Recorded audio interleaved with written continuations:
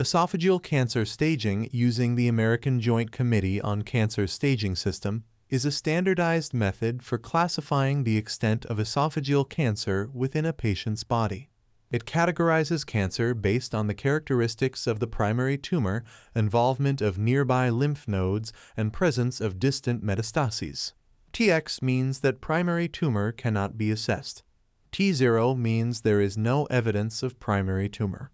Carcinoma in situ written as TIS means that there is high-grade dysplasia, indicating abnormal cells present only in the innermost layer of the esophageal lining. T1 means that the cancer has invaded the lamina propria or submucosa, the first two layers of the esophageal wall. T1 can further be subclassified into T1A and T1B. In T1A, tumor invades the lamina propria or muscularis mucosae. In T1B, tumor invades the submucosa. T2 means that the tumor has penetrated the muscularis propria, the deeper muscle layer of the esophagus. T3 indicates that the cancer cells have extended through the esophageal wall into the adventitia, the outermost layer, or invades adjacent structures such as the bronchus, pericardium, or diaphragm.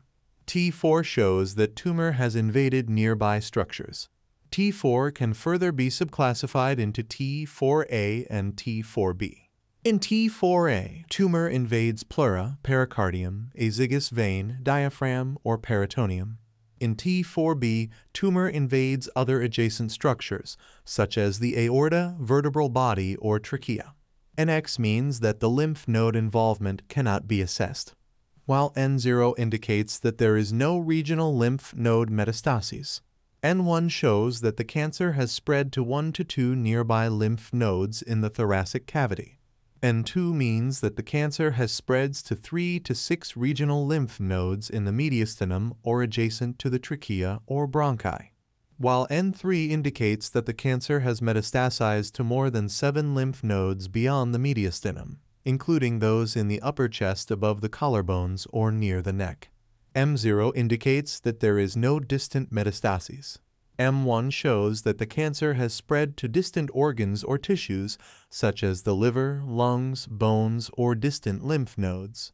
Accurate staging of esophageal cancer using the AJCC system is essential for developing personalized treatment plans, evaluating prognosis, and facilitating communication among healthcare providers. It allows for the selection of appropriate therapeutic strategies, including surgery, chemotherapy, radiation therapy, targeted therapy, and immunotherapy, tailored to the individual patient's needs and disease characteristics. If you found this video helpful, don't forget to like, share, and subscribe for more content on health.